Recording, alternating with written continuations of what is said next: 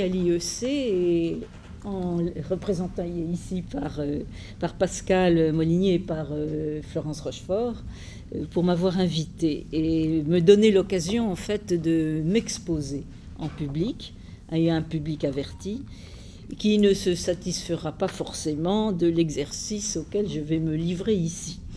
Et c'est un exercice risqué, je dois dire, qui peut toujours tomber, d'un moment à l'autre, tomber dans l'auto-justification, la modestie, l'immodestie, la fausse modestie, etc. Et qui est de toute façon euh, la reconstitution d'un parcours, c'est-à-dire un exercice réfléchi et qui, euh, par là même, réélabore le passé, de, euh, le passé personnel.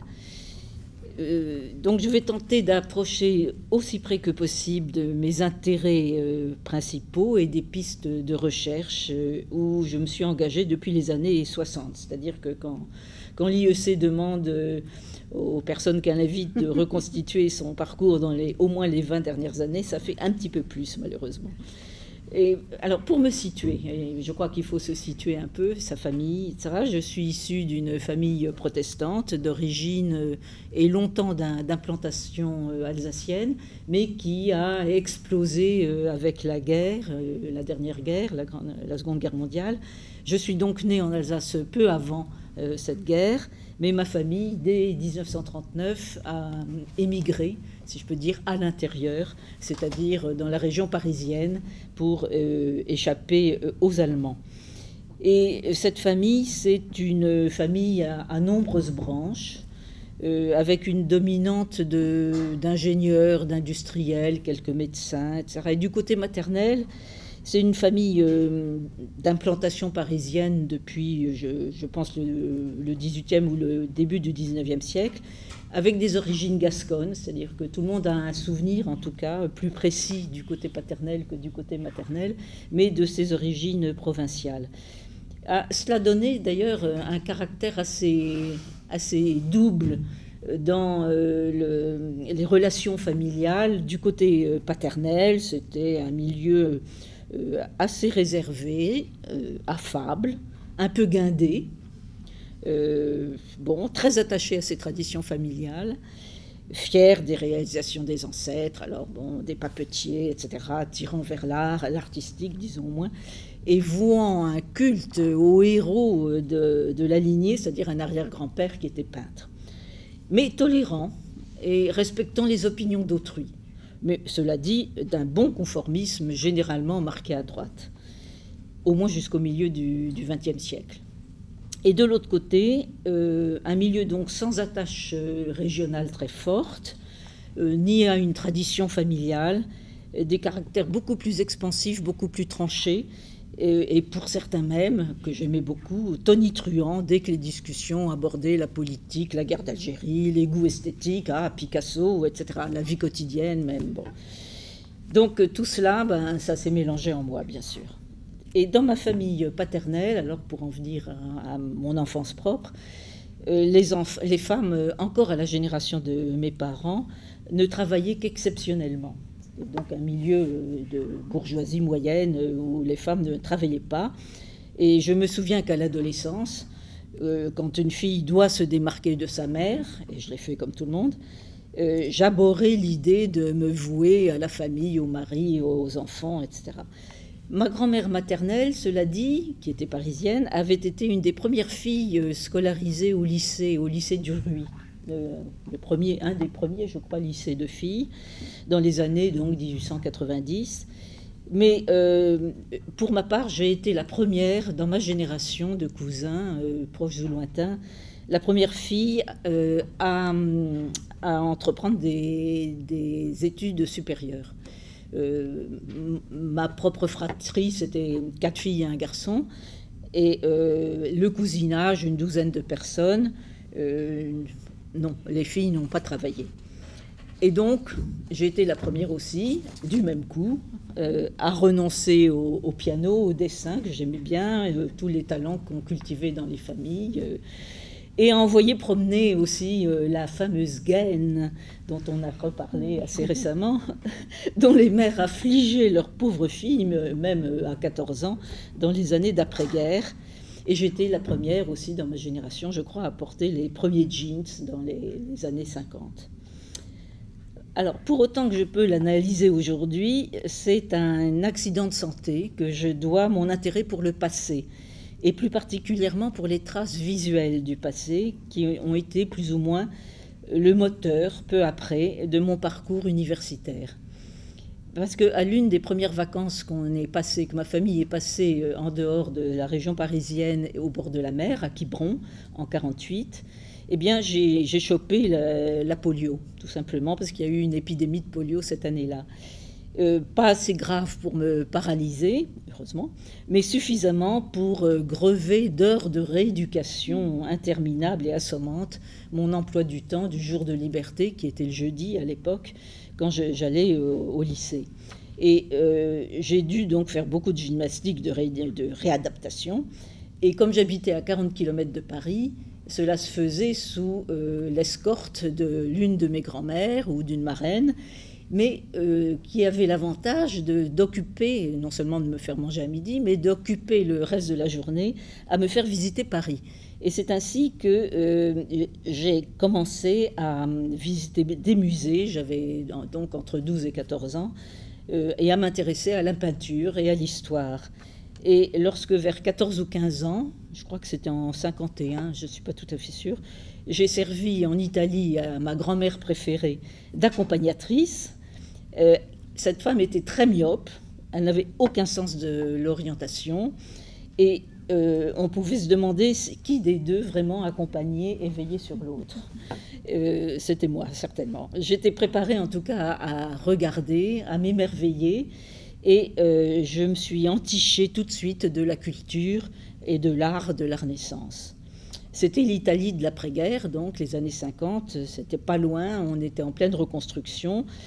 Euh, et euh, il y avait les premières euh, Vespa, il n'y avait pas de voiture, et le, pays était très pauvre encore, mais c'était infiniment gai et passionnant. Et bref, je me suis passionnée pour l'Italie.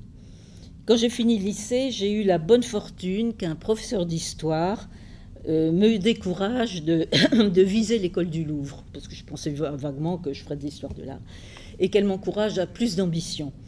Euh, elle m'a dit bon, l'histoire de l'art c'est bien, mais alors euh, faites une hippocagne, faites une cagne, euh, entrez à l'ENS à Sèvres, passez l'agrégation de géographie et histoire, commencez une thèse, allez à l'école de Rome. Alors et alors seulement vous pourrez faire une thèse d'histoire de l'art si c'est vraiment ce que vous voulez faire. Bah, C'était en 1953, j'avais 16 ans et je l'ai cru. Et bref, je me suis lancée dans le parcours qu'elle m'avait bien balisé de cette manière. Pas jusqu'au bout toutefois, parce que j'ai été stoppée net après l'agrégation en 1960 euh, par la guerre d'Algérie. Je me suis embarquée quelques mois dans un des réseaux de soutien, le réseau Curiel, au, FLN. J'ai été arrêtée, j'ai échoué quelques mois, euh, enfin près d'un an quand même à la petite roquette. Et je n'ai pas pu rejoindre mon premier poste de prof agrégé à Compiègne. Dès 1962, à la fin de la guerre, j'ai été recommandée à Fernand Braudel par Robert Philippe qui dirigeait le centre de recherche historique à cette époque, à la sixième section de l'école pratique des hautes études, et dont j'avais suivi le séminaire qu'il donnait avec Jacques Le Goff. Et miracle, j'ai été recrutée immédiatement par Brodel, sur ma seule bonne mine, parce que je n'avais vraiment encore rien produit du tout. Hein. Pas un article, pas une thèse, zéro. Donc euh, je rends grâce au coup de cœur de Brodel pour m'avoir évité les, années insupportables d'attente que tous les jeunes connaissent aujourd'hui. J'ai donc été accueilli par Brodel, dont j'admirais évidemment la Méditerranée, que j'avais lue, et dont j'avais euh, reconnu euh, et intégré, disons, le goût pour euh, la liaison qu'il établit entre l'histoire et la géographie.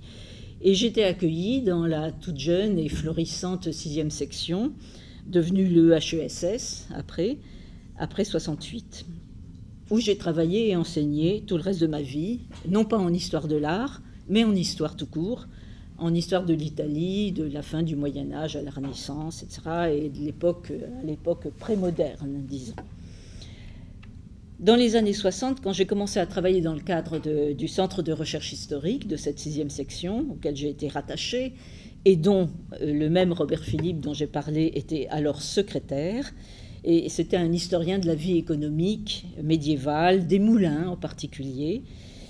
Ce CRH fonctionnait surtout et d'abord comme un centre éditorial des historiens qui dépendaient plus ou moins, à un titre ou l'autre, de Brodel et de la sixième section. Et c'était en effet de jeunes historiens, pour, beaucoup élèves directs de Brodel, mais pas tous, et qui, faisait, qui avait fait ou faisait sous sa direction des thèses sur la production agricole ou industrielle, sur les échanges commerciaux, sur les milieux d'affaires, sur les variations monétaires de l'Europe occidentale, ou éventuellement des pays d'Amérique du Sud, soit quelques 70 ouvrages quand même qui, en 62, avaient déjà été publiés sur ces thèmes dans les collections qui portaient le sigle du Centre de recherche historique. Il s'agissait donc de faire une histoire qui quantifiait les volumes de marchandises, qui établissait les tendances longues, les cycles courts des productions, des échanges, qui scrutait les élites marchandes. Et c'est du reste dans ce, cadre que je me suis initiée à une source que je devais par la suite, longtemps après, beaucoup exploiter, à savoir les livres de famille, ou, ou livres de raison, si vous voulez, de Florence, parce que euh, dans ce cadre éditorial, j'ai été chargée euh, de relire et de préparer l'édition de la thèse euh, très connue de Christian Beck sur les marchands écrivains de Florence. Mais ce même centre de recherche historique entamait alors un virage en promouvant des enquêtes collectives. Parce que si j'avais commencé à y faire de la recherche sous la direction d'Hélène Antoniadis Bibicou, une spécialiste de Byzance, de formation marxiste, qui avait été accueillie à la sixième section par Brodel après que le régime des colonels se fut installé dans son pays. J'avais travaillé donc avec euh, Hélène, qui ambitionnait de constituer une équipe euh, de recherche de jeunes chercheurs et de mener une grande enquête sur euh, l'histoire économique de la Méditerranée au XIe siècle. Rien que ça. 11e et 12e. Et elle m'a lancé dans le dépouillement de, des archives notariées euh, éditées euh, de, de, Gênes. J'ai commencé donc euh, par travailler là-dessus. Et cette recherche a tourné court assez vite, au bout d'un an, parce que la préparation du congrès, je ne sais plus lequel, un, congrès de l'association d'histoire économique que présidait Fernand Braudel, exigea que plusieurs des historiens du CRH, du Centre de recherche historique, ou qui gravitaient autour de ce centre, coordonnent leurs efforts sur un thème assez différent, la désertion des villages, des villages les Wüstungen en allemand. Et ce problème avait été exploré par des historiens et des archéologues polonais, anglais, allemands, suédois, mais pas ou peu étudié en tant que tel en France. Et Brodel l'avait fait mettre au, programme de la troisième conférence internationale, c'est la troisième, donc euh, conférence internationale des historiens de, de l'économie qui devait se tenir à Munich en 1965. Et ce furent alors au, Centre de recherche historique deux années de travail vraiment intense avec des, historiens comme Ruggiero Romano, Marcel Roncaiolo, Emmanuel Leroy-Ladurie, Jacques Le Goff, Hélène Antoniadis, John Day, avec qui j'ai écrit un article dans le volume final. Et des archéologues, Paul Courbin, Jean-Marie Peset, Gabriel Desmians d'Archimbault. Ces noms vous disent peut-être pas à tout le monde quelque chose, mais enfin, c'était quand même des, gens tout à fait euh, notoires. Mais euh, en cela, je crois que mon goût, euh, peut-être initié par la Méditerranée de Brodel, mon goût pour le lien entre histoire et géographie ou paysage humain a trouvé matière à se déployer dans cette enquête. Par ailleurs, personnellement, j'avais commencé à travailler à une thèse. Toujours pas de femme, hein, vous remarquez, euh, dans tout cela. Euh, une thèse de troisième cycle, une thèse courte, l'équivalent de la thèse actuelle, plus ou moins, sous la direction de Ruggiero Romano. Je lui avais demandé un sujet qui me rapproche de l'histoire de l'art, et Romano pensait que les registres de l'activité portuaire de Gênes et de Livourne, d'une part, les livres de boutique d'artistes d'autre part, les archives des grands chantiers italiens, enfin, devaient permettre d'estimer, quantitativement, c'était ça ce qui l'intéressait, la consommation d'art à travers la production, le commerce, l'utilisation du marbre de Carrare, voilà, entre XIIIe et XVIe siècle. Ce qu'il m'avait donc proposé, c'était d'évaluer l'importance, le poids matériel euh, de la consommation d'art dans l'Europe de la Renaissance. Ce qui rejoignait en effet mon intérêt pour l'histoire de l'art, mais en l'abordant dans une perspective tout à fait euh, inédite à, l'époque, sauf quelques très rares euh, articles, celle d'une histoire sociale de l'art, largement étrangère donc à l'histoire de l'art telle qu'elle était pratiquée en France à l'époque. Pour autant, je n'ai pas quantifié quoi que ce soit, ou très peu, la, la documentation ne s'y prêtait pas, mais je me suis familiarisée avec les archives, la bibliographie et les chercheurs italiens. Donc, toujours pas de femmes là-dedans.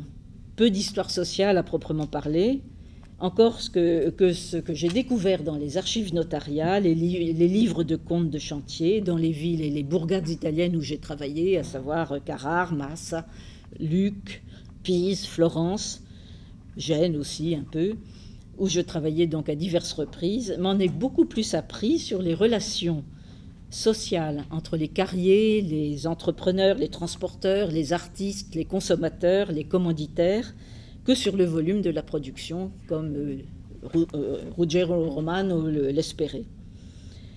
Et l'année où je soutins ma thèse, en 66, qui était dirigée par Jacques Le Goff, après que Romano se fut brouillé avec Brodel, Brodel se brouillait avec tout le monde à tour de rôle, eh bien, Brodel m'expédia à Florence, qui venait d'être ravagée par une terrible inondation, le déluge, comme il l'appelle encore, il diluvio, pour rencontrer un professeur américain, David Hurley, qui était enseigné à l'université de Wisconsin, à Madison, et, qui était en année sabbatique en, Italie. Il avait un projet, et Brodel l'avait rencontré un colloque, avait été séduit par ce projet.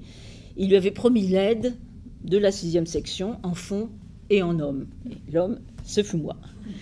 Les fonds venant du CNRS sous la forme d'une recherche coopérative sur programme c'est-à-dire un, de ces, montages, disons, financiers et humains euh, en ressources humaines de, l'époque, qui était euh, sous la supervision très sourcilleuse de Louis-Henri, le grand fondateur de la démographie historique euh, française, et le grand promoteur de la reconstitution des familles, sur laquelle je reviendrai tout à l'heure. L'objet de cette coopération, c'était une source magnifique de la Renaissance italienne, qu'on appelle le catasto, le cadastre, florentin, un fond qui se prêtait très bien par sa, son homogénéité, par son ampleur aussi, à une approche quantitative. Donc nous restions encore là dans le, sillage, disons, des grandes ambitions brodéliennes. Euh, la Toscane, euh, toute la population de la Toscane, euh, qui était alors gouvernée par la cité-État florentine, avait donc devait monter un dénombrement qui était une description des biens et des gens jusqu'au dernier bébé de tous les sexes à travers la province. Et l'intention de la recherche que donc Herlihy avait lancée et qui fut coopérative au sens plein jusqu'au bout, jusqu'à la rédaction du livre, c'était d'analyser en les combinant les structures disons, les caractères euh, démographiques et économiques de la population, soit 60 000 foyers quand même, 264 hein, 000 personnes. Et Louis-Henri, là, a eu euh, une idée, une intuition formidable. Il a dit, mais vous avez là une, une source qui n'est pas seulement simplement euh, démographique, descriptive, mais qui, analyse, qui vous permettra d'analyser euh, le contenu, la composition des familles, et donc d'approcher euh, dans l'intimité de ce qu'on appelait les, ce qu'on appelle les ménages, euh, d'approcher un peu les rapports entre hommes et femmes ou entre générations différentes à l'intérieur d'un cadre donc familial. C'était, je vous le rappelle, l'époque où la démographie historique florissait. Hein. Elle inventait, elle raffinait ses méthodes. Les historiens avec Pierre Goubert, et les démographes ou les sociologues avec Louis-Henri et ses disciples comme Jacques Dupaquier, Jean-Noël Birabin, ou en Angleterre avec Peter Laslett et son groupe de Cambridge, tout cela cherchait à établir les comportements familiaux, conjugaux, individuels, en recourant à des grilles de différenciation sociale, économique, professionnelle, qui en général étaient préélaborées, mais qui pouvaient aussi être tirées des documents eux-mêmes on en savait très peu à l'époque sur la composition fine des feux médiévaux, de ce que les gens du Moyen Âge appelaient des feux. Et on répétait en fait à l'infini quelques observations maigres limité sur et, souvent localement très limité ou socialement aussi très partiel. La doctrine dominante était que le feu médiéval, le household anglais, euh, avait forcément été vaste et prolifique, puisque euh, à l'époque moderne, on trouvait au contraire un feu restreint, un feu, un feu centré sur, le, sur le, couple conjugal et sur la descendance immédiate de, de ce couple. Et ce modèle reposait donc sur l'hypothèse qu'au au Moyen Âge, et peut-être de, plus en plus en remontant le temps, euh, le, la famille avait eu une composition différente. Une composition différente, il y avait eu une rupture, disons, à l'époque euh, prémoderne. ce modèle s'appliquait en effet aux populations du nord-ouest de la France, de l'Angleterre, le modèle moderne, hein, le modèle de la famille restreinte.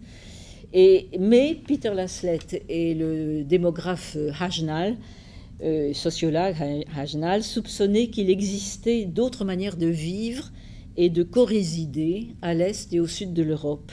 Mais ils avaient peu, peu de, de substance pour le démontrer, et quasiment rien du tout pour explorer le Moyen Âge. Euh, le catasto était donc une source qui pouvait euh, finalement euh, confirmer ou infirmer, mais en tout cas apporter, apporter beaucoup d'éléments de réflexion sur cette, sur cette soi-disant évolution. Alors, nous avons été aidés, euh, Hurley et moi, par quelques jeunes chercheurs en Amérique et à Paris. Et nous avons travaillé d'arrache-pied à une édition électronique, ce qui était un peu une nouveauté encore à l'époque, préliminaire à l'étude systématique des données de ce cadastre.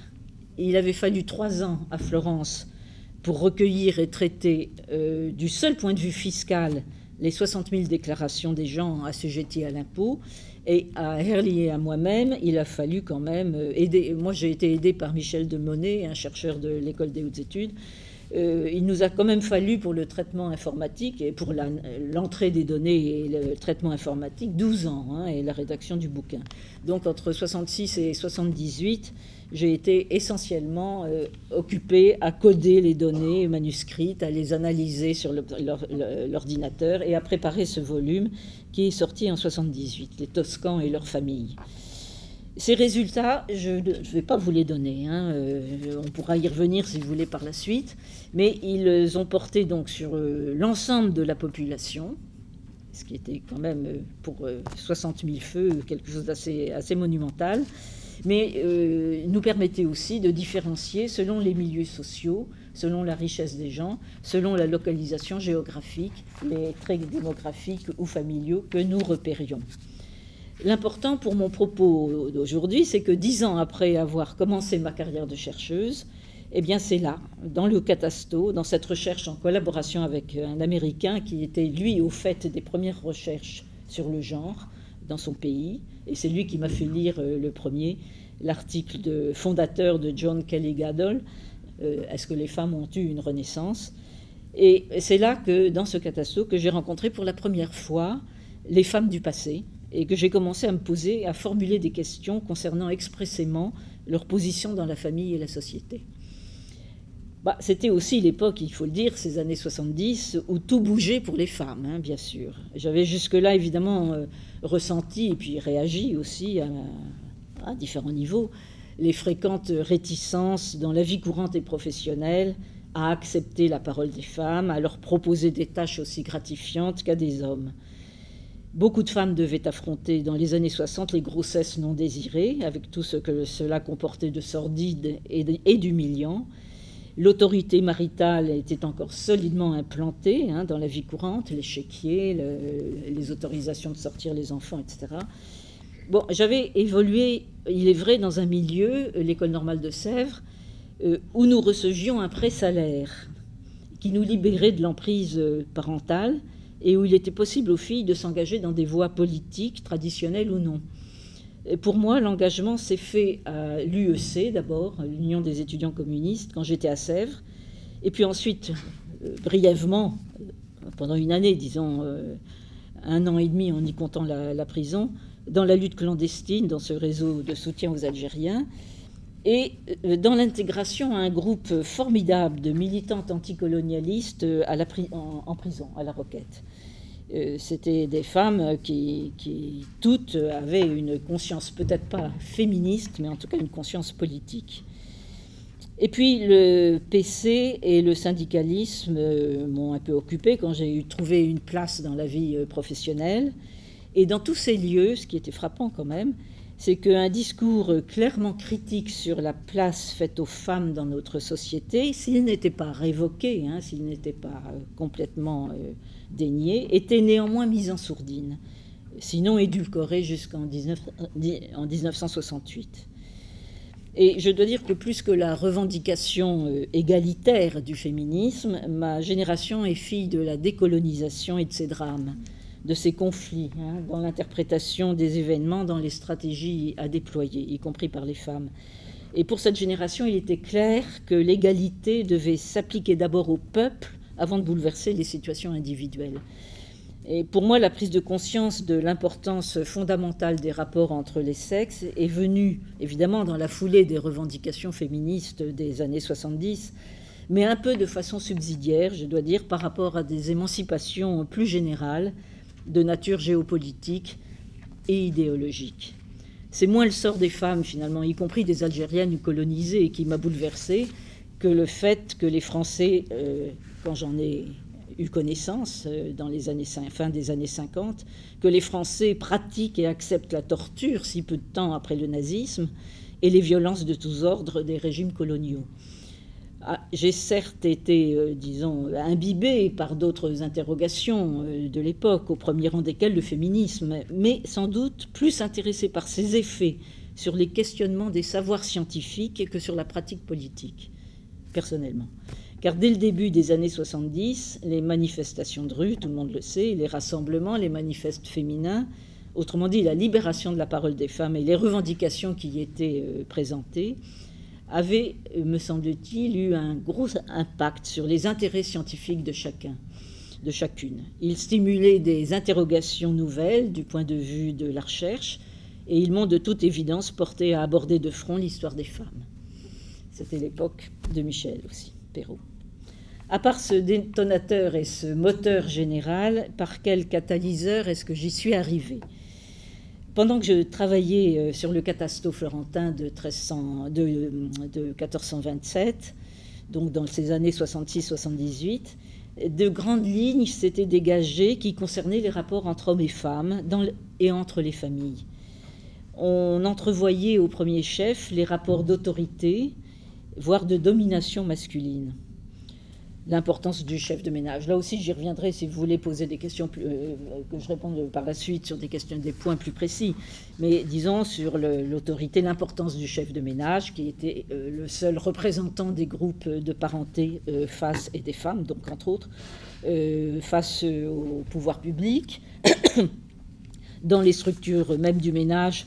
la qualité des personnes qui en dépendaient mettait en lumière la, la patrilatéralité, disons, des, structures domestiques et des structures euh, claniques ou lignagères. Euh, du point de vue démographique, on constatait un déséquilibre, ça c'est un point important que je dois quand même dès maintenant signaler, un déséquilibre numérique très important euh, entre les hommes et les femmes, assez saisissant à l'échelle de la population totale. On comptait près de 12 ou 13 hommes pour 10 femmes, ce qui quand même, à l'échelle d'une population, est un gros déséquilibre. Et ce rapport euh, de masculinité qui était favorable aux hommes, favorable entre guillemets, euh, caractérisait particulièrement euh, les classes d'âge enfantines. C'est-à-dire que c'était un phénomène qui prenait, qui prenait vie dès l'enfance dans les familles. Parce que, alors que le rapport à la naissance, par ailleurs on pouvait le connaître, était normal. Donc il se passait quelque chose pendant l'enfance. Euh, autre domaine dans lequel euh, j'ai été interpellée, disons, par cette source, euh, c'est que l'incertitude sur les âges des, filles, des âges que devait déclarer, c'était un des grands attraits de ce document, les âges déclarés aux autorités fiscales étaient beaucoup plus flous et imprécis pour les filles que pour les, ou les femmes que pour les hommes. Et je notais enfin que euh, le même flou caractérisait souvent la nomination, euh, la nomination des femmes. Euh, il y avait sinon un flou, du moins des variantes dans leur désignation qui révélaient que leur place n'était pas aussi bien fixée que celle, celle, des hommes. Mais je passe un peu vite parce que j'ai encore pas mal de choses à dire et que le temps. Allons-y tranquillement. J'ai dit que le, le catasto se voulait donc un un dénombrement exhaustif. En fait, il avait aussi des absences bizarres. Euh, par exemple, euh, la grille magnifique qu'on pouvait appliquer au, donc document euh, permettait de connaître pour chaque individu son âge, son état civil, sa place dans le groupe de parenté, donc sa filiation par rapport au chef de famille. Et pourtant, il y avait donc des absences ou des non-dits. Euh, aujourd'hui, on parle des millions de femmes qui manquent en Chine, en Inde, etc. Ben, il manquait en effet beaucoup de femmes euh, en Toscane, beaucoup trop pour que cela ne soit pas un problème. Euh, et analyse faite, on n'avait pas seulement affaire aux déficiences, disons, des collecteurs d'informations ou à quelques troubles qui se seraient passés au moment de l'enregistrement, des copies du document. Il fallait vraiment admettre l'hypothèse que les gens qui faisaient leur déclaration d'impôt cachaient ou oubliaient un certain nombre de choses et de gens, les femmes en l'occurrence. Et ce sont surtout ces, absences-là qui m'ont fait m'interroger sur la situation des femmes dans une société particulière. Celle qu'on voit, au contraire, généralement et traditionnellement, comme un joyau de la Renaissance ayant donné des femmes de merveilleuses images hein, et délicieuses images. Pour les retrouver, ces femmes qui étaient tues ou qui étaient disparues, on ne pouvait pas faire trop confiance aux sources fiscales et il fallait aller voir d'autres types de documentation. Et j'ai cherché une réponse à cette question, notamment dans les livres de famille, qui sont très abondants en Toscane. Ils avaient bien moins de raisons de cacher eux aussi des choses que les contribuables pouvaient avoir intérêt à cacher au fisc dans le catasto beaucoup d'observations dans les marges du texte principal, dans les apartés en quelque sorte, touchaient les femmes ou les filles, et m'apprenaient à ne pas m'en tenir au déroulement attendu selon un questionnaire bien réglé concernant les biens et les gens, les, membres du feu. Peut-être qu'ici je dirais quelques mots sur euh, ma méthode, ce qui est un bien grand mot pour qualifier les approches et les interrogations successives que j'ai expérimentées dans le cours de mes recherches. Euh, vous vous serez aperçu que je suis une, empiriste et pas une théoricienne, euh, et que ça n'est pas pour euh, vérifier ou corroborer ou contredire quelques points théoriques que j'ai démarré l'une ou l'autre de mes recherches. Je crois plutôt dans la vertu d'une, pour ma part, hein, dans la vertu de, de curiosité. je dois dire que je m'arrête et que j'interroge ce qui survit du passé, les documents, les monuments, les images, lorsque quelque chose me dérange ou dérange ce qui été établi. Je me vois plutôt, euh, bon, enfin, c'est une métaphore, comme sur une barque dérivant, euh, sur une barque, sur une rivière euh, qui semble immobile et jetant ma ligne et tirant en eau profonde à partir des, frémissements de surface, tirant ma ligne. Je reviendrai sur, un, ou deux exemples qui peuvent illustrer cette soi-disant méthode. J'ai donc plutôt euh, euh, progressé par euh, approximation successive, plutôt que selon un plan d'enquête préétabli. En particulier lorsque j'ai travaillé pendant 10 ou 15 ans, 15 ans sur les livres de famille. Je ne cherche pas à, discuter, je n'ai jamais vraiment cherché à discuter une problématique d'ensemble, c'est aussi un défaut, hein, une timidité intellectuelle sans doute de ma part une problématique d'ensemble sur la différence sexuée, sur le masculin ou le féminin, et le féminin, sur la domination masculine, sur la dialectique entre rapport de classe et rapport de sexe. Mais j'ai abordé tous ces thèmes, disons, euh, dans, le, dans le cours de la recherche. Je me suis aperçu ainsi que dans les marges du catasto lui-même, euh, les incidentes dans ce texte dont je disais qu'il était très formalisé, hein, c'était un questionnaire, bref, des détails de ces déclarations pointaient un problème, un problème crucial dans la société florentine du temps, florentine, toscane et même italienne, à savoir la dot. Et l'angoisse de ne pouvoir donner une dot convenable à sa fille, de contribuer ainsi à la déchéance de la famille, la peur de ne pas la recevoir entièrement, ou de la recevoir, d'en recevoir une trop grosse, et de ne pouvoir la restituer en cas de veuvage.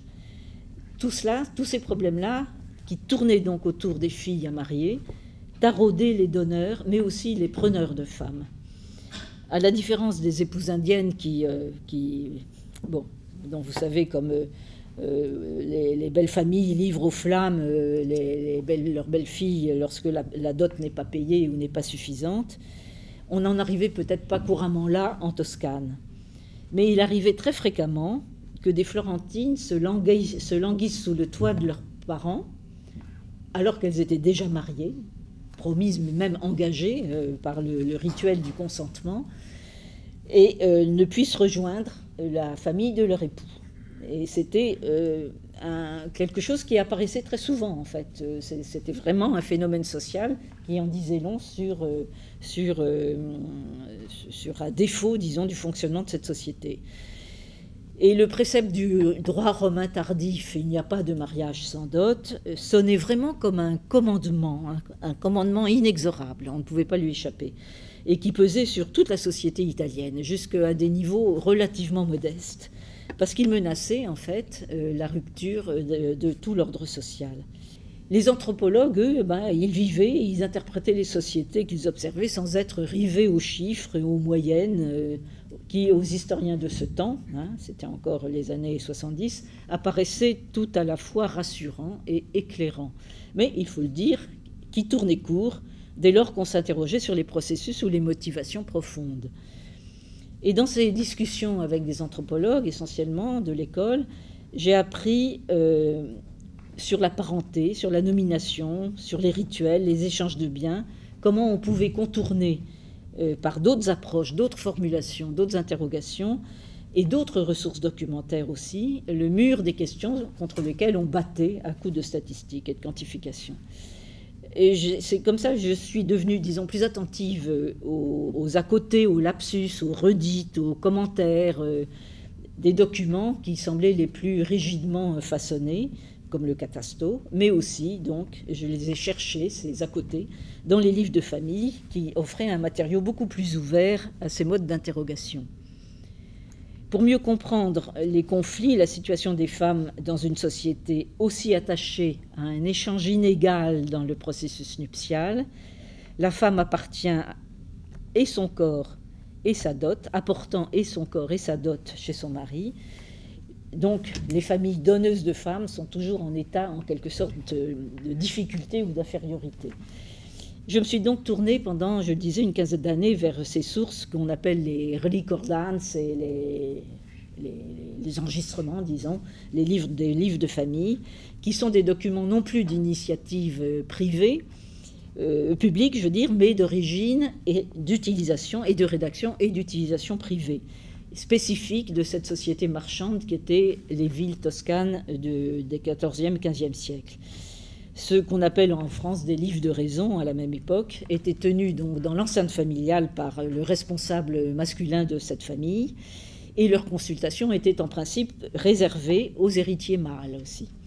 Ils visaient à conserver les traces de tout ce qui pouvait apporter, selon la formule de l'époque, honneur et profit au groupe, au groupe de parents, de parenté, qu'il s'agisse de ses effectifs, en enregistrant naissance, mariage, décès de façon beaucoup plus précise que les simples âges estimés euh, dans, le catasto, ou de ses biens matériels, de ses biens matériels euh, acquis, cédés, exploités, rentabilisés, ou encore de son expression publique à travers les rituels du cycle de vie, les positions politiques occupées par les membres de ce groupe, les honneurs dont ils étaient gratifiés. Donc vous aviez là euh, une panoplie, disons, d'indicateurs euh, du statut social et de la vie démographique. Peu de place y était faite aux sentiments et aux affects personnels, malgré tout, sinon marginalement, ou en guise de justification à une décision. il ne s'agissait encore aucunement de journaux intimes, hein, de journaux personnels et intimes. C'était des outils de travail quotidiens, de survie collective, dans toute euh, la bourgeoisie, petite ou grande, euh, de l'époque, euh, dans, les, villes. Et ce type de documentation exprimait la, conscience de, de groupes qui régissaient chacun, le sens des responsabilités et de la solidarité entre les générations dans une société marchande qui maniait constamment l'écrit, au moins sous les plumes masculines, les femmes étant exclues très largement, presque totalement, de l'écriture. Alors sur ces livres, j'ai travaillé euh, seul, mais en rapportant constamment ce que j'y découvrais dans les archives italiennes, des livres inédits, pour le discuter à Paris dans les séminaires collectifs, en particulier euh, celui que j'ai longtemps mené en compagnie de André euh, Burguère et Françoise Zonabent, autour de thèmes qui nous intéressaient également, autour de thèmes concernant la famille, disons. Je traitais d'abord les discours masculins qui généralement étaient stéréotypés comme un discours sur les faits. Et toutefois, les commentaires personnels de comportements ordinaires, dûment nommés mais ritualisés, révélaient aussi, à leur manière, les marges de manœuvre dont ces rédacteurs disposaient pour mener au mieux leurs affaires de famille et leurs affaires publiques, intimement liées dans cette culture de l'honneur et du profit, comme je disais tout à l'heure. À la différence des contribuables du catasto, qui est un document qui est une coupe à travers la société à un moment donné, les, livres de famille s'égrènent au fil du temps et laissent deviner les hauts et les bas d'un destin familial collectif et les stratégies qui leur répondent. Naturellement, les rédacteurs parlaient de leurs femmes, dans les relations de rituels de naissance, de mariage, lors des décès aussi, ou encore dans les parties de leurs livres qu'ils consacraient aux contes, aux contes quotidiens. Mais ils n'en rapportaient qu'exceptionnellement les faits propres et les dires. Et j'ajoute que ce genre des écritures ordinaires était si bien de la responsabilité des hommes qu'il ne subsiste avant la fin du XVIe siècle, en regard des dizaines, même des centaines, des centaines de livres de contes et de raisons, ou de familles qui sont tenus par des hommes qu'une toute petite poignée, et quand je dis poignée, c'est une dizaine euh, au XIVe, XVe siècle, de livres tenus par des femmes, des veuves généralement, et, qui, très souvent d'ailleurs ne maniaient même pas la plume, mais dictaient à, l'un de leurs fils et euh, intitulaient le livre à leur nom. Les filles ne recevaient aucunement les mêmes apprentissages de la lecture et de l'écriture que leurs frères, et n'étaient pas destinées à prendre en main les reines de la vie domestique. Une fois veuve, on attendait d'elle soit qu'elle reste soumise à l'autorité d'un fils ou d'un beau-frère, soit qu'elle se remarie et passe sous l'autorité d'un nouvel époux. Si pourtant elles choisissaient de vivre hors de leur foyer, hors du foyer d'un enfant, disons, on espérait qu'elles iraient vivoter chichement d'une petite rente tirée de leur dot, et chastement, parce que malgré tout il fallait encore euh, préserver l'honneur posthume de l'époux, sans, dissiper euh, toutefois cette dot, parce qu'elles devraient revenir à leurs enfants après leur mort. Bref, dans la société florentine, ou toscane, on n'envisageait pas du tout qu'elles se lancent dans des investissements euh, de façon autonome, comme cela peut se passer à Gênes ou surtout à Venise, qui auraient nécessité la tenue de compte selon les règles marchandes. Il n'y avait guère que les jeunes veuves restant auprès de leurs enfants, qui risquaient d'avoir à tenir des écritures sur la gestion de leur fortune, en attendant la majorité d'un fils. Et de toute façon, hors de quelques rarissimes correspondances, il y avait peu d'espoir de saisir la parole des femmes in vivo. Et c'est quand même dans ces livres masculins que je me suis acharnée à interroger sur les femmes. Et je l'ai fait dans plusieurs directions, par plusieurs approches, une approche démographique, ethnologique aussi, ou anthropologique d'abord démographique, parce que les livres de famille avaient entre autres fonctions, je l'ai dit, de tenir un état civil, une sorte d'état civil de la famille, en l'absence encore de registres de baptême ou de registres paroissiaux, disons, euh, les registres de baptême commençant à Florence, sans doute en 1430, mais étant conservés à partir de 1450. 1380 à Sienne, sera de registres de décès, qui étaient très partiels, des registres de sépulture, longtemps confié au seul croque-mort à Florence. Registre de mariage, ça n'existait pas. Alors qu'il y ait eu un, souci euh, astrologique chez certains pères qui notaient à la minute près l'heure et la naissance de leurs enfants, c'est possible et c'est même parfois attesté. Mais c'est surtout à la nécessité de justifier son âge et sa citoyenneté lors des candidatures à des fonctions municipales, dans l'établissement des données fiscales, que répondent à partir de 1390 ces enregistrements privés en ce qui concerne au moins les garçons. Pour les filles, il s'agira dès les années 1430 de préciser ces informations à l'occasion de la constitution de leur dot dans un fonds public voué à justement avec garantie d'État, la banque publique des dots, euh, voué donc à constituer à la constitution à l'amas à progressif de la dot d'une fille. Mais dans un cas comme dans l'autre, la constitution d'un tel état civil est donc étroitement liée au progrès et au contrôle de l'État, dit moderne, bien plus qu'aux exigences de l'Église, lesquelles ne se feront jour qu'à partir du début ou même du milieu du, XVe euh, siècle. Ces données, qui sont rassemblées parfois pour les naissances sur un même feuillet du livre de famille, parfois éparpillées au fil des enregistrements quotidiens, augmentées de tous les détails qu'on peut relever dans ces livres sur les mariages ultérieurs, la descendance propre des descendantes directes et la disparition de ces individus. Tout cela m'a permis de compiler des fiches de famille à la, mode de Louis-Henri, qui ouvrait sur la reconstitution, une reconstitution des familles qui a si bien servi, comme vous savez, la démographie historique à la française des années 1950-1980. Je me suis risqué cependant à approcher les caractéristiques de la nuptialité et de la fécondité des, femmes, sur laquelle beaucoup d'estimations partielles euh, sont trop vite généralisées. Et euh, j'ai donc mené des études d'histoire démographique, ainsi qu'un peu sur la mortalité, euh, à partir de ces fameux livres de famille. J'en dirai juste quelques mots, mais ces études permettaient de montrer que la vie féconde d'une femme dans ces milieux citadins, et il s'agit uniquement des milieux citadins, prenait fin en moyenne avant l'âge de 40 ans, je pouvais montrer que l'espacement des naissances était lié aux pratiques de l'allaitement mercenaire, d'une part, et de l'autre, à la possibilité, quand même, euh, en fin de carrière féconde pour les femmes, d'une limitation volontaire des naissances en fonction du sexe des enfants, des enfants déjà nés. Et des pratiques donc contraceptives qu'il faudra euh, certainement explorer plus avant, mais il y a quelques indices là. J'ai pu aussi un peu approcher la fréquence comparée des remariages d'hommes et de femmes, le volume des descendances finales de ces couples florentins, qu'ils aient été interrompus par la mort précoce, précoce de l'un des époux, ou qu'ils aient pu se prolonger jusqu'à la fin de la vie féconde des femmes.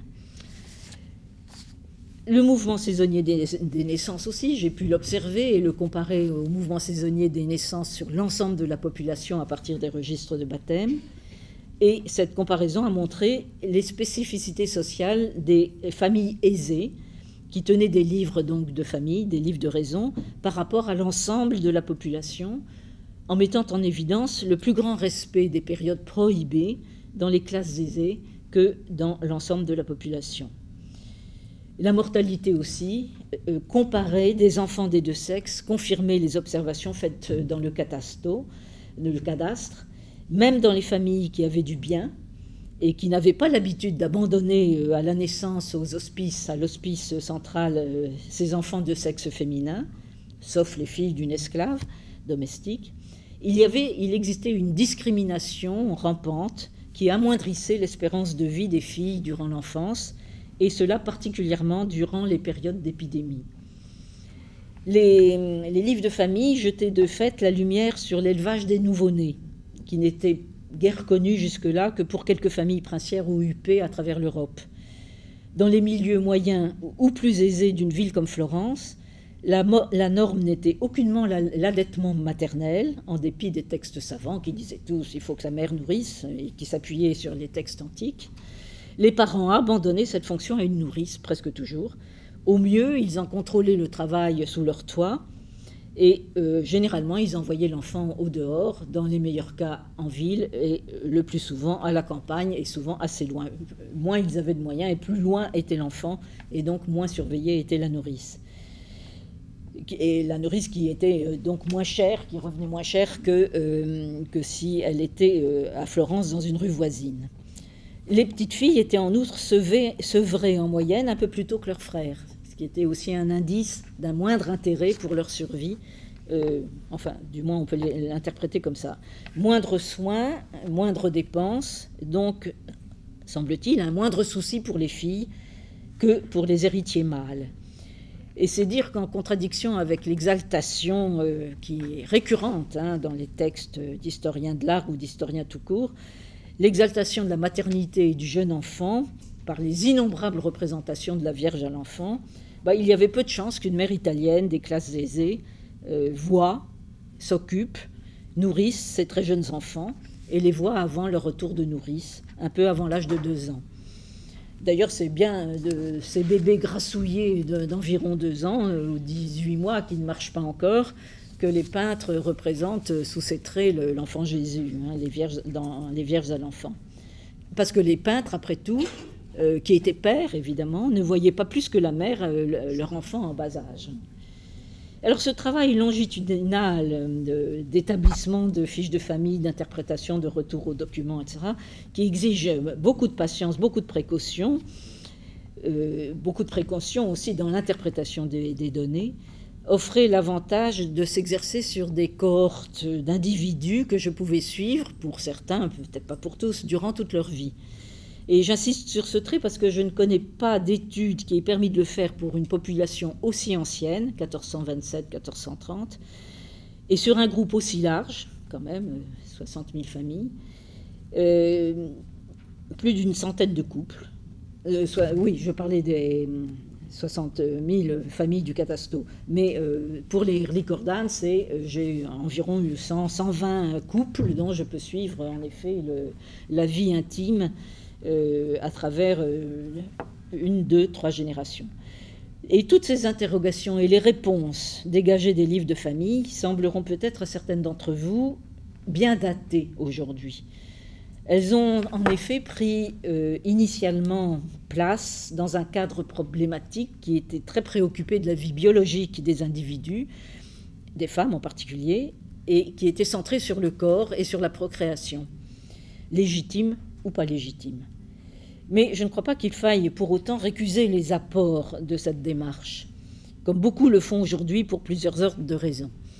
D'une part, en discréditant les approches quantitatives, et donc je vais faire un petit plaidoyer pour les approches quantitatives, euh, même si elles semblent un petit peu obsolètes. Euh, donc ce discrédit apporté, jeté sur euh, les tentatives de cerner par le quantitatif les mouvements profonds de la population, les tendances de fond, et qui sont aujourd'hui renvoyées un peu au magasin des antiquités parce qu'elles oblitéreraient les choix et les, destins individuels. Et d'autre part, qu'on soit féministe ou non, en dédaignant, euh, sous le prétexte que des recherches de ce type réduisent les femmes à leur corps et la vie sociale à la sphère privée, l'éclairage jeté sur les usages anciens de ce corps par les hommes et par les femmes. Au contraire, il m'est apparu que celle-ci, pouvaient prendre des initiatives ou se livrer à des esquives dans le lit conjugal, entre autres, auprès des berceaux, dans leurs apparitions publiques. Elles tournent ainsi les lois somptuaires, par exemple. Et toutes ces esquives peuvent en dire long sur les rapports entre les sexes et sur le déni qui est opposé par les femmes aux excès de l'autorité masculine. Or, c'est ce que peuvent aussi révéler les calculs des démographes, si on veut bien les lire sans a priori euh, exclusif euh. Je dirais même plus, c'est que ce que le dépouillement de ces écritures privées peuvent aussi nous dire des brouillages à cette époque entre vie publique et vie privée, ou vie publique ou politique et vie privée ou domestique. Les travaux sur l'alliance de mariage au Moyen Âge montrent constamment combien celle-ci l'alliance donc de mariage, entrait dans le jeu politique des élites, des milieux dirigeants, et comment les femmes, qui étaient évidemment manipulées comme des marchandises. Marchandises, c'est le mot qu'utilisent les Florentins, les Toscans, et plus largement les Italiens, pour désigner la fille à marier. Hein, ça en dit quand même assez long. Mais euh, donc, elle nous, montre comment euh, cela entrait dans le jeu politique des milieux dirigeants et comment euh, ces femmes étaient manipulées au moment des négociations de l'alliance et devenaient dans l'imaginaire, peut-être dans la réalité, des fauteuses de paix, non pas de guerre mais de paix, contribuant au rapprochement des familles concurrentes, jusque-là ennemies, souvent ennemies. Peut-être ne pouvaient-elles pas être directement actrices de l'histoire par des actes, des paroles publiques, car la vie publique leur était largement interdite, mais elles étaient certainement plus que de simples faire-valoir de leurs époux. Elles constituaient la substance même de l'échange social, et les affaires portées devant les tribunaux ecclésiastiques montrent assez qu'elles pouvaient prendre des initiatives, réprouvées par leur milieu social, mais qui témoignaient d'une certaine indiscipline collective. Je disais que j'avais aussi adopté une démarche plus ethnologique, disons, dans l'analyse des livres de famille florentins. Je me suis en effet intéressée aux rituels, aux échanges de cadeaux, à l'alliance spirituelle, aux structures de la parenté large. Et par le biais des cérémonies nuptiales, par exemple, j'ai cherché à éclairer les places symboliques qui étaient occupées par les femmes dans les rituels de mariage et de baptême.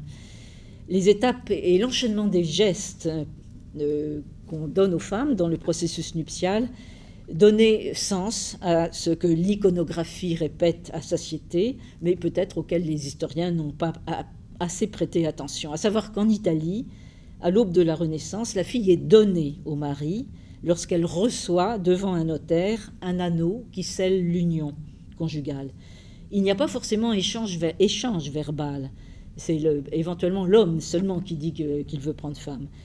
Ou quant à la femme, il peut rester tacite. Le silence de la femme vaut acquiescement. C'est le geste du mari qui donne l'anneau à, sa future épouse qui scelle l'union. Et les livres de famille montrent à satiété que les hommes d'église n'interviennent presque jamais dans cette cérémonie. C'est un notaire qui enregistre les verba de praesenti, les paroles de consentement immédiat.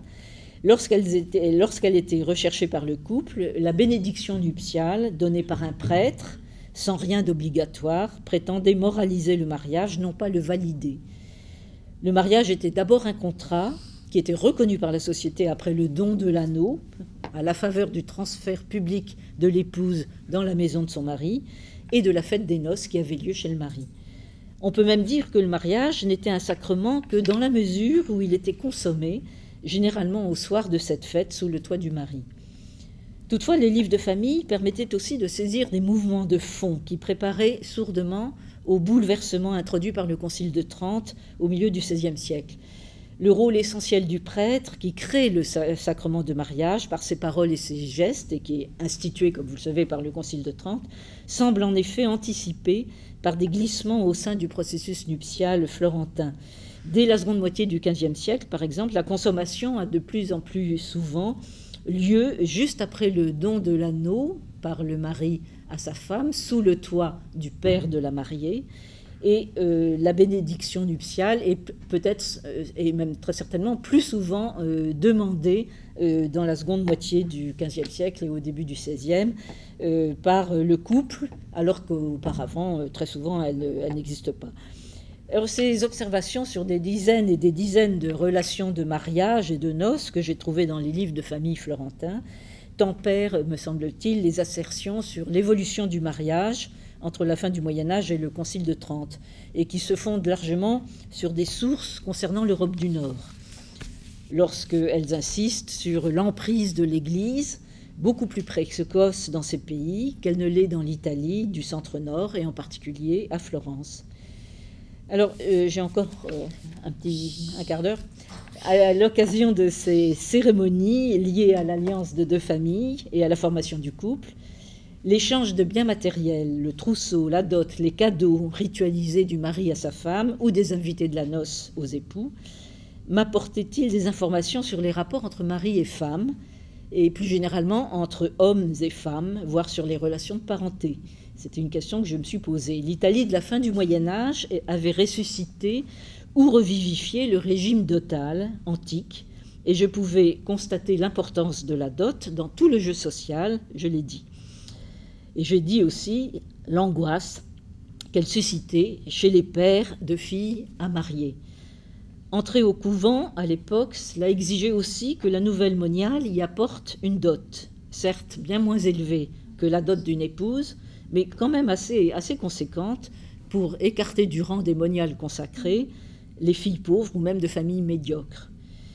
Marier une fille dans les classes aisées ou supérieures exigeait que les parents pensent dès sa naissance aux moyens de la doter en fonction du rang social de sa famille.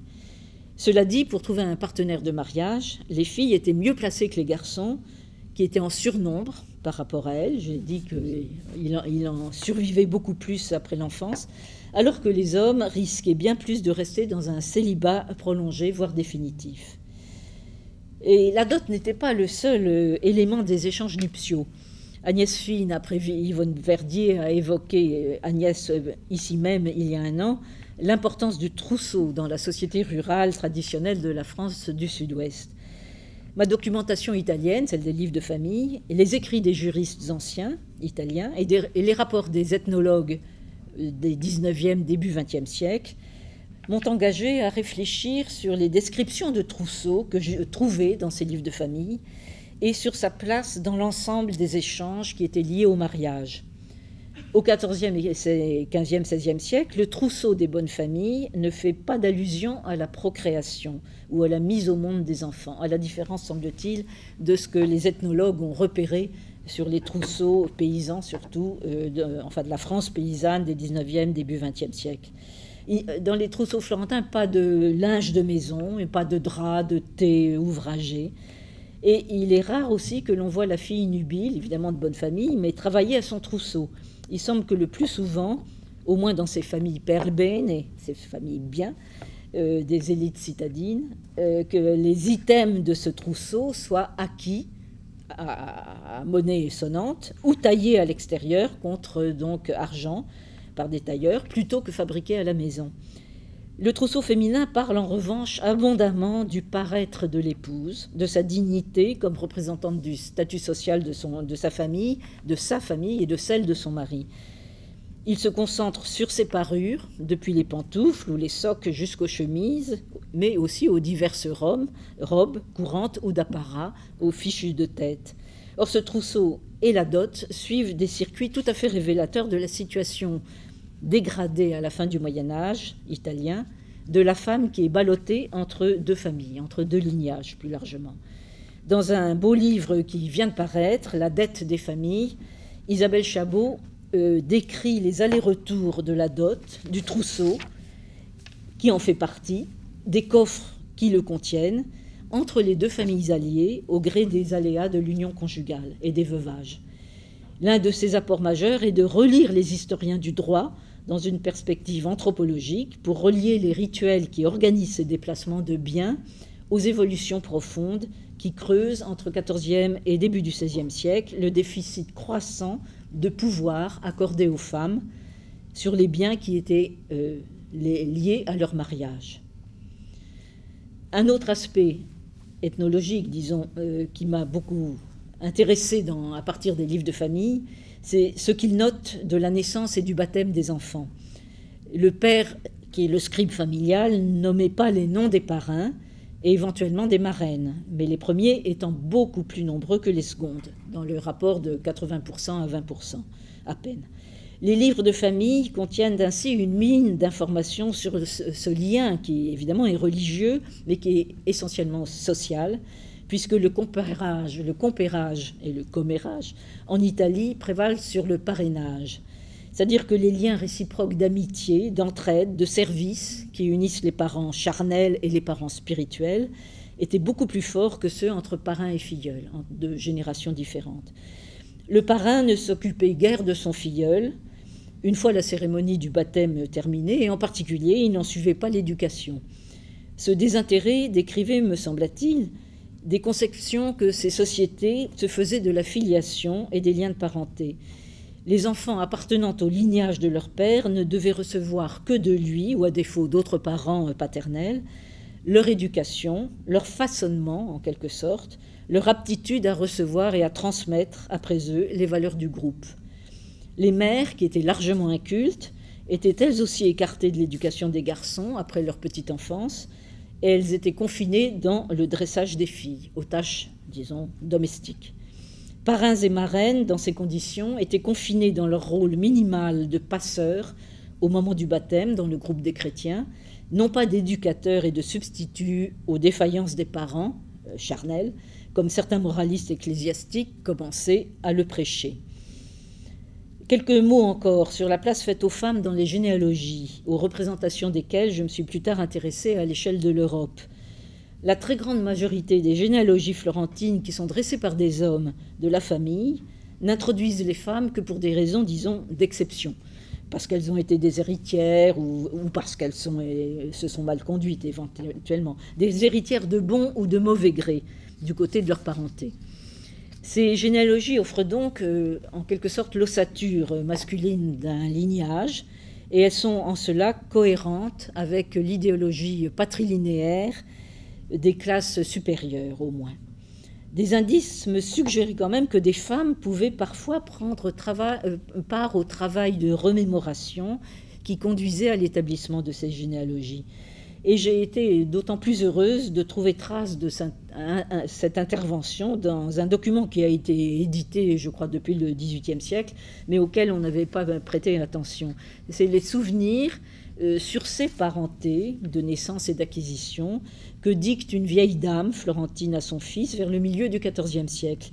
Et ces souvenirs montrent que les associations d'idées de cette femme, les parcours de sa mémoire qui remontent ou descendent les générations, euh, diffèrent profondément des procédures des généalogistes masculins, qui tous partent d'un ancêtre commun et, descendent les, lignes de, euh, et les différentes générations.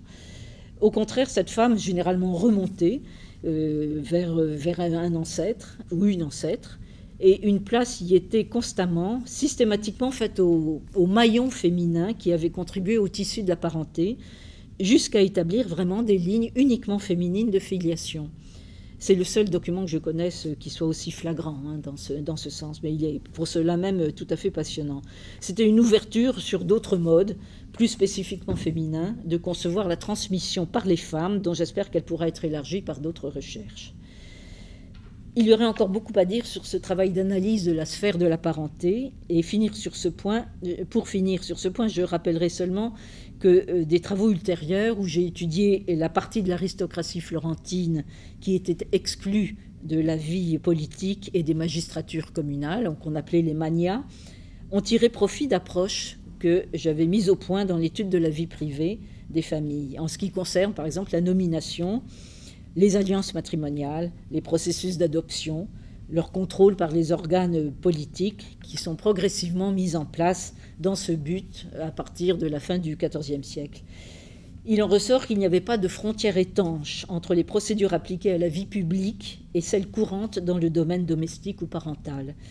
On peut même penser que c'est en utilisant celles-ci à l'encontre, à l'encontre de lignages ou d'individus que la société dominante, disons, jugeait dangereux pour la paix communale, que les autorités florentines ont introduit un coin dans les blocs familiaux ou lignagés pour en limiter la cohésion et l'activité.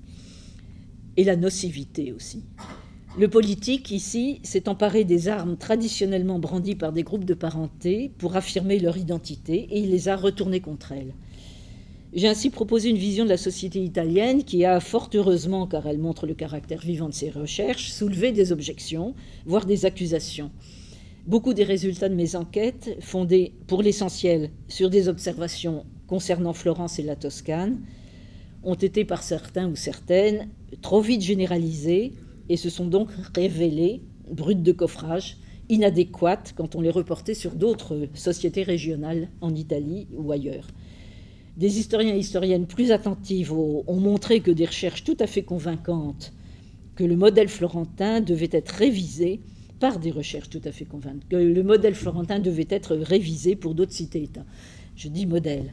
J'ai toujours été consciente, pour ma part, il me semble l'avoir aussi dit, que ce soi-disant modèle poussait à l'extrême des traits des sociétés italiennes qui étaient moins marqués ailleurs que dans euh, cette ville et cette région.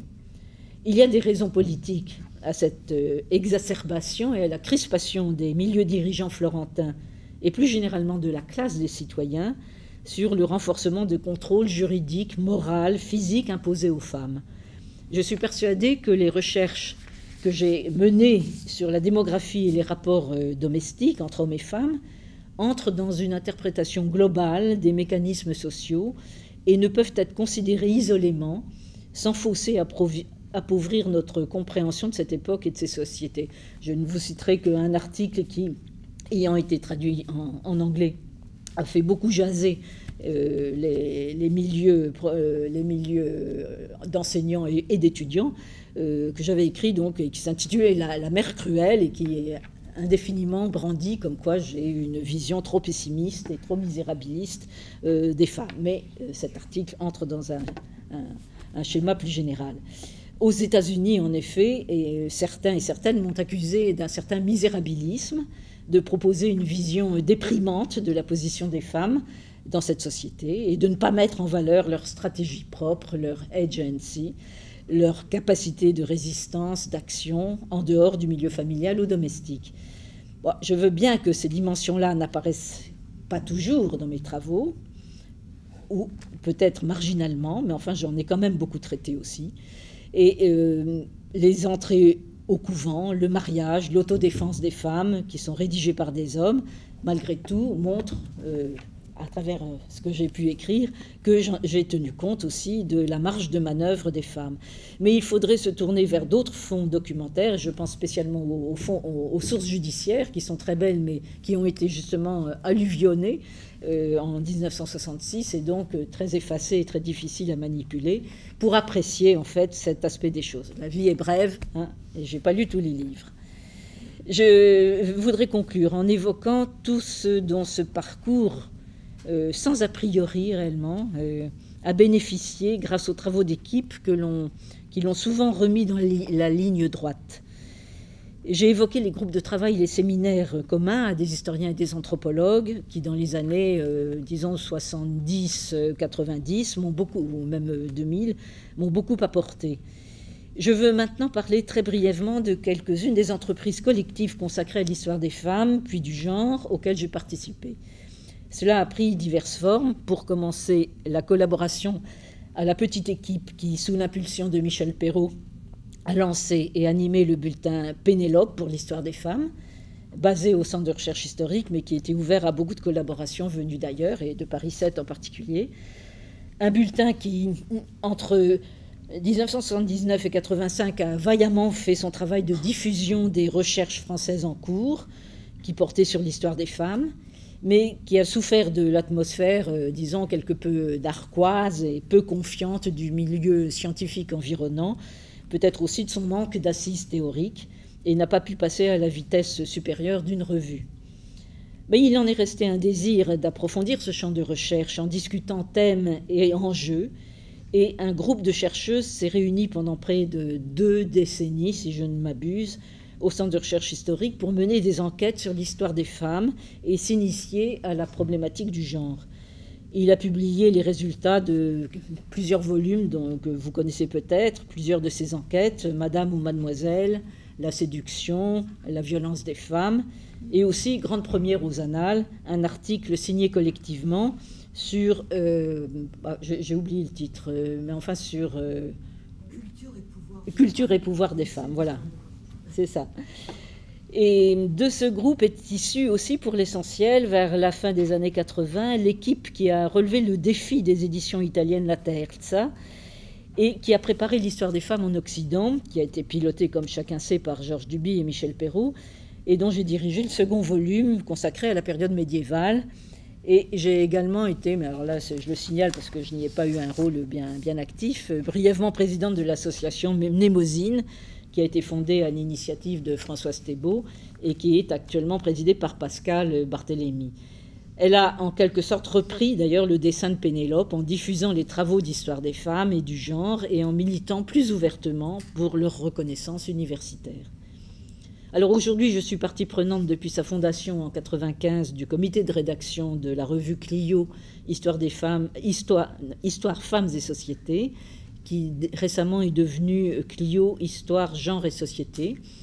Euh, c'est un travail d'équipe euh, très enrichissant, encourageant, souvent divertissant, on s'amuse bien, mais assez prenant aussi. J'y ai pris en charge avec une ou plusieurs autres amis du comité divers numéros, dont l'un qui revisite l'apport scientifique de Georges Duby en matière d'histoire des femmes au Moyen Âge, un autre avec Pauline Schmitt et Gabriel Oubre sur femmes et images, un autre encore avec Florence Rochefort sur les clôtures féminines, prison, couvent, et le dernier, euh, liens euh, familiaux, euh, que j'ai co-dirigé avec Didier Lett et Agnès Fine, et où nous cherchons à analyser les affects développés au sein d'une famille en les croisant avec les positions d'âge, de rang de naissance, etc., dans divers régimes de genre. Voilà, la boucle est-elle bouclée, peut-être pour moi, qui mène actuellement des recherches où le genre intervient de façon marginale, bah, qui sait mais certainement pas pour les nombreuses chercheuses et chercheurs qui travaillent à la bonne santé de l'histoire des femmes et du genre, et que je remercie ici pour l'attention qu'elles ont bien voulu me porter. Merci. Merci. Merci.